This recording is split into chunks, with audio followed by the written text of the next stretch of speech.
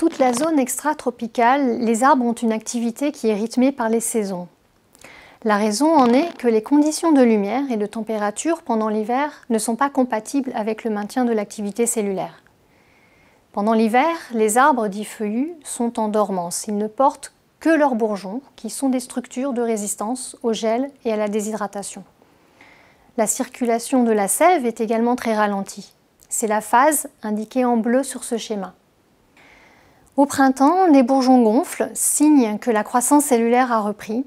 Ils éclatent et laissent apparaître les feuilles et les fleurs. C'est le débourrement et la floraison. Chez les espèces à bourgeons séparés, en général, la floraison a lieu en premier, alors que chez les espèces à bourgeons mixtes, elle a lieu après le débourrement. La croissance racinaire et la croissance des rameaux, d'abord en longueur puis en épaisseur, reprennent environ à la même période, un peu avant ou un peu après le débourrement selon les espèces. Les fruits se développent, puis les nouveaux bourgeons font leur apparition dès l'été, mais ils restent dormants.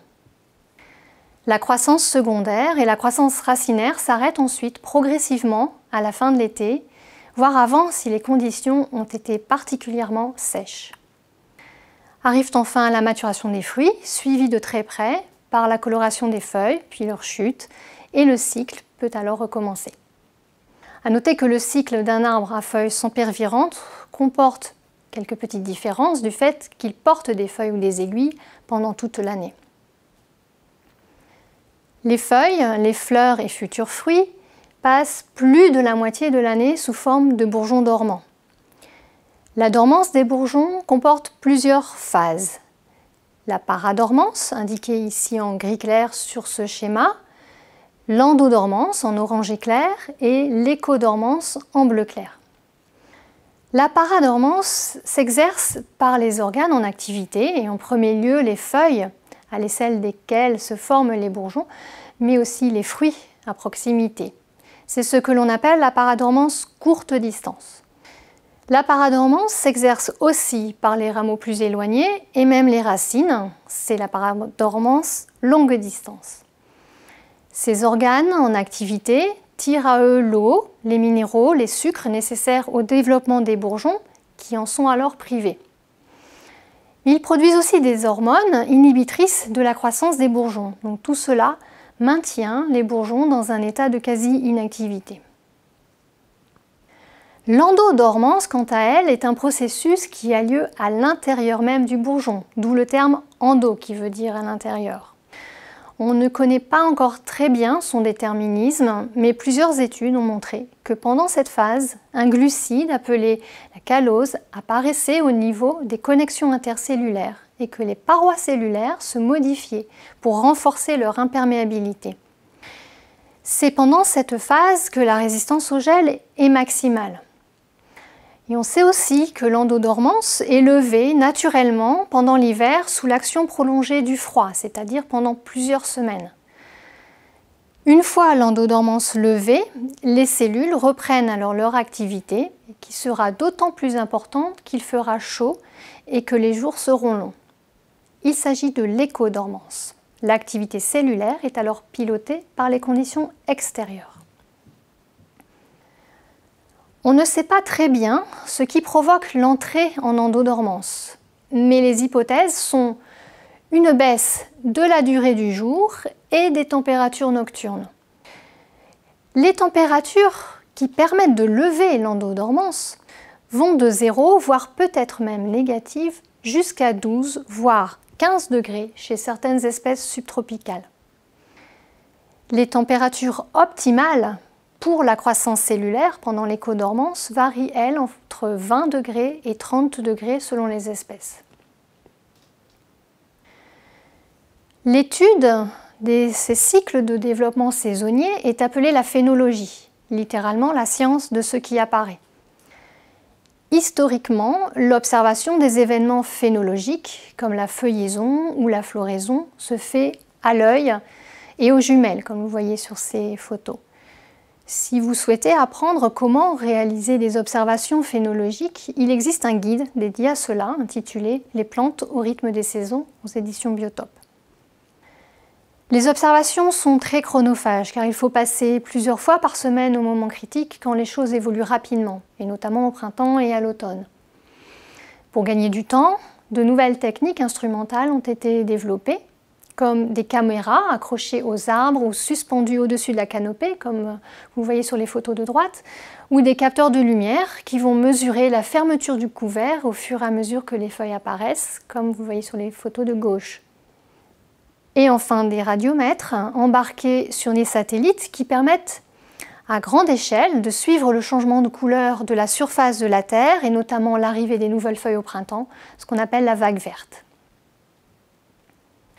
En France, les recherches et les observations phénologiques se font au sein du réseau Tempo, qui diffuse également sur son portail plus de 2,5 millions de données phénologiques sur l'ensemble du monde vivant. Et sachez qu'il existe également deux programmes de sciences participatives associés à Tempo, l'Observatoire des saisons et Phénoclim, auxquels vous pouvez contribuer pour faire avancer la recherche dans ce domaine. Étant donné que la température est le principal déterminant de l'activité cellulaire, le changement climatique affecte profondément le cycle annuel de développement des arbres. Le premier effet très visible et général qu'on a observé et que la reprise d'activité au printemps s'est fait de plus en plus tôt au cours des dernières décennies, en moyenne deux jours par décennie. Et en revanche, la fin d'activité à l'automne a eu tendance à arriver de plus en plus tard, en moyenne un jour par décennie. Et ce faisant, la période d'activité des arbres a augmenté, comme vous le voyez sur ce schéma. Mais depuis quelques années, on observe, surtout à basse altitude et dans les régions méridionales, que la reprise d'activité au printemps n'est plus aussi précoce qu'attendu, malgré un réchauffement qui va croissant. Ce phénomène a été clairement imputé dans plusieurs études au réchauffement de l'hiver et au manque de froid pour lever la dormance des bourgeons. Lever de dormance qui est alors retardée. D'ici quelques décennies, on s'attend à ce que certaines espèces ne puissent plus lever la dormance des bourgeons par manque de froid hivernal. Depuis une dizaine d'années, on observe de façon répétée des choses qu'on observait très rarement auparavant, comme par exemple un brunissement très précoce des feuilles dès le mois d'août, comme ces hêtres que vous voyez sur cette photographie euh, au Mont Ventoux, dans le sud de la France, et des floraisons pendant l'automne et l'hiver chez des espèces à floraison printanière, notamment chez les arbres fruitiers, les arbres ornementaux comme le lilas. Ces événements sont toujours associés à des étés chauds et secs et à des automnes et des hivers très doux. Si les effets du changement climatique ont été plutôt bénéfiques pour les arbres jusqu'aux années 2000 grâce à l'allongement de leur période d'activité, depuis quelques années, on voit se succéder des effets négatifs comme les dégâts de gel, car les feuilles et les fleurs arrivent trop tôt en saison, et comme le stress hydrique, car les arbres commencent à puiser l'eau plus tôt et assèchent le sol donc plus rapidement, et d'autant que l'évaporation elle-même du sol est également plus importante. Ces modifications dans les cycles annuels de développement euh, des arbres et toutes les espèces avec lesquelles ils sont en interaction ont des répercussions sur de nombreux processus écologiques à différentes échelles.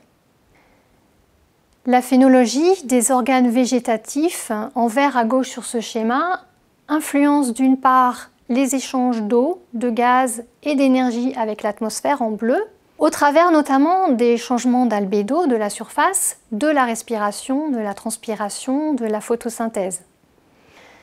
En fonction des aléas météorologiques de type gel et sécheresse, le déroulement du cycle végétatif va également déterminer un certain nombre de processus qui sont indiqués ici en jaune, notamment la productivité des arbres, leur croissance, la compétition pour les ressources et donc leur survie.